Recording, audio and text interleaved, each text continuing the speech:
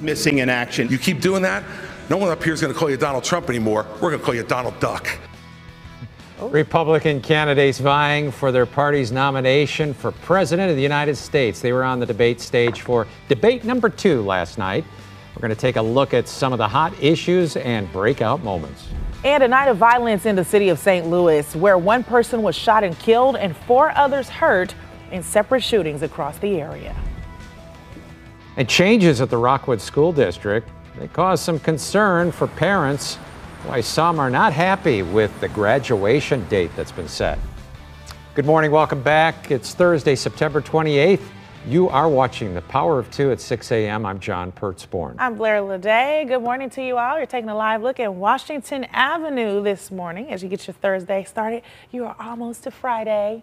Angela Almost has, there. Yes, Angela has excited. a forecast for you as we uh, inch closer to the end of the work week. Got some rain in some places. There's yeah, there's some rain, uh, even some thunderstorms in places south of St. Louis. We have some pretty dense fog to the north and east of St. Louis, and other folks have had a great view of the almost full moon all morning long. So it's a little bit of everything going on as our stubbornly slow-moving cold front presses away to the south. It's still the fiery line for a few isolated showers and storms, especially right now near the Redbud area and then down south near Fredericktown. So spot showers on both sides of the river.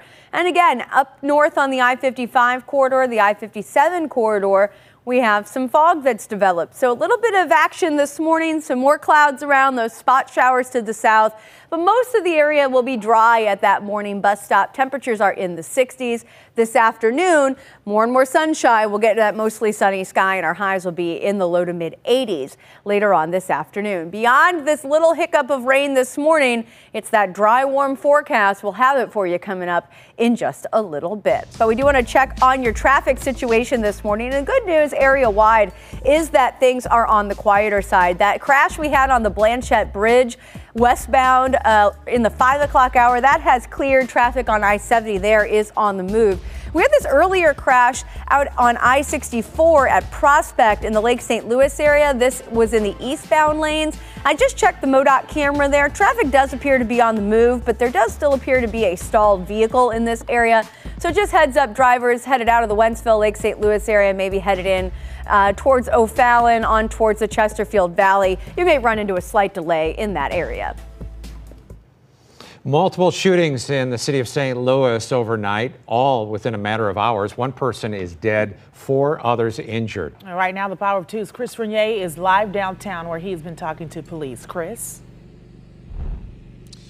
Blair and John, good morning to both of you. Authorities tell us so far there have been no arrests in any of these cases. We are just outside of police headquarters this morning. Although three of these shootings happened less than two hours apart, authorities tell us there does not appear to be any connections between these crimes either.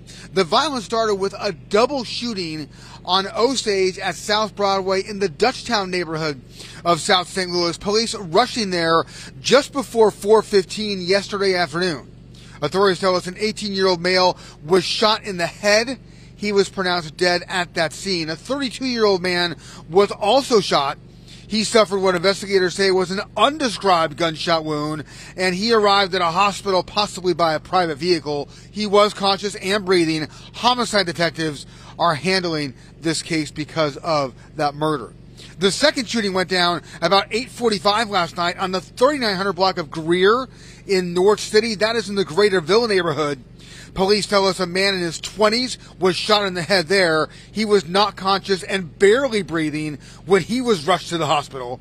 Authorities told me he is in critical and unstable condition this morning. Although this case is currently being treated as an assault, homicide detectives have been activated because police believe death is considered imminent. Then just after 9:15 last night, police rushed to another shooting. This one on the 1500 block of Cole in the downtown West neighborhood, not far from the America Center. In that case, authorities say an adult male suffered gunshot wounds to both of his legs. He was taken to the hospital where police say he was listed as stable. This case is being handled as an assault first degree. And finally, police responded to yet another shooting just before 10:30 last night. This one on the 4100 block of Nebraska in South City. That is also in Dutchtown. Police say an adult male was taken to the hospital by a private vehicle after he was shot. Authorities tell us it is still unclear where that man was hit. He was also listed as stable overnight, this case being treated as a first degree assault as well. If you have any information on any of these cases, you are asked to call St. Louis Police or Crime Stoppers. For now, live downtown, I'm Chris Regnier. Thanks, Chris. It was a busy night of violence, and at the same time, police had to deal with a major staffing issue. The Fox Files learned the majority of St. Louis officers in one district called in sick during last night's second shift, the blue flu, they call it. The department was forced to use officers from other districts to fill the void. Fox 2 will not identify that district because it could create safety issues for police and the public. 605 is your time. Seven Republican candidates vying for their party's nomination for president took turns making jabs and competing for their breakout moments during last night's second GOP presidential debate. Doug Luzader takes a closer look at some of the hottest issues. Well, Donald Trump saw no reason to join the fight, and that's exactly what it was last night on a surprising range of topics. Did you send them back? It's the State Department. Did you send them Did back? you send them back? You're the one that works in Congress. No, That, believe it or not, was an argument over government curtains, showing just how anxious some of these candidates were to go after one another. Excuse me. Paper. Thank you for speaking while I'm interrupting. Literally. Interrupting while I'm speaking. literally, no, you said if I may finish. If I may finish. It was hard to get a word in at times, even between shots at President Biden. And I refuse to be a passive bystander sitting in the White House like the hollowed out husk of a current president we have. But beyond attacking Biden and one another, often the focus was on former President Donald Trump, who declined to participate. And you know who else is missing in action? Donald Trump is missing in action. You keep doing that, no one up here is going to call you Donald Trump anymore. We're going to call you Donald Duck. Thank you very much. Uh, for his part, Trump offered his own bit of counter programming, speaking to auto workers in Michigan last night. He said his fellow candidates are hoping for a job in his administration. They'll do anything. Secretary of something. E- They even say VP. I don't know. Does anybody see any VP in the group? I don't think so. And each of these seven are essentially competing to be the prime alternative to Trump. And sharp elbows were the order of the day. Honestly, every time I hear you, I feel a little bit dumber for what you say. But at the same time, there were nods to the venue itself, the Ronald Reagan Presidential Library, and the man who stood for so long as the standard bearer for the party. The city on the hill needs a brand new leader, and I'm asking for your vote. After this, we may see the field begin to narrow somewhat as the party gets ready for its next debate in Miami on November 8th. In Washington, I'm Doug Luzader for The Power of Two.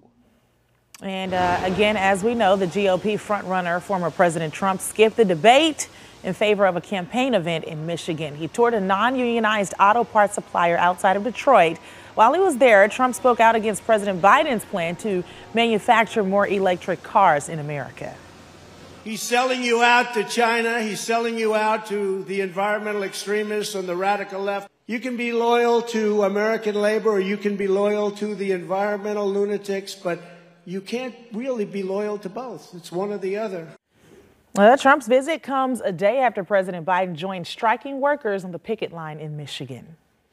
Well, some parents are not pleased with the new graduation date set for certain Rockwood high schools. Traditionally, the district's graduation day is after Memorial Day, but some high schools, including Lafayette, will now graduate on May 11th. Eureka High's graduation date is May 13th.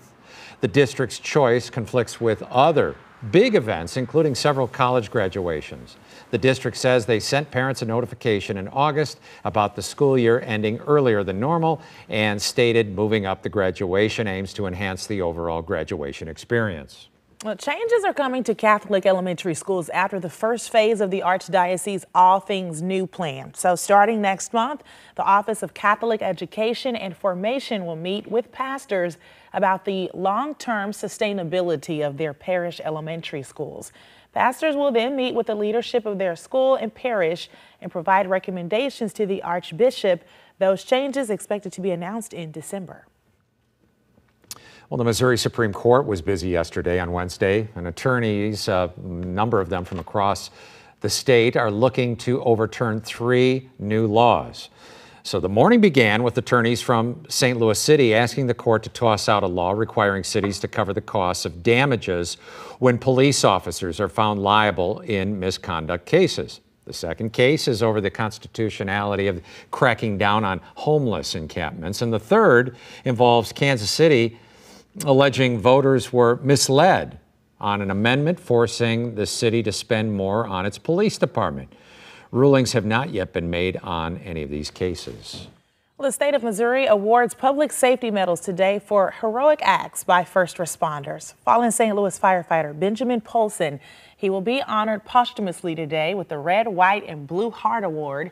Polson died in the line of duty in January of last year when the roof of a vacant home collapsed on him while he was looking for fire victims.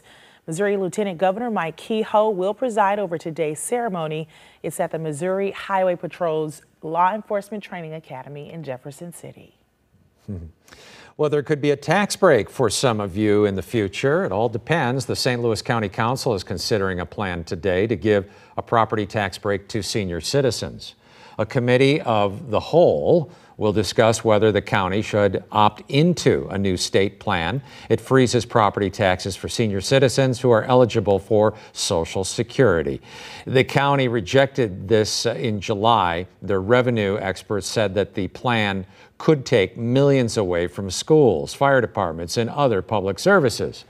Well, St. Charles County approved the senior tax freeze two weeks ago.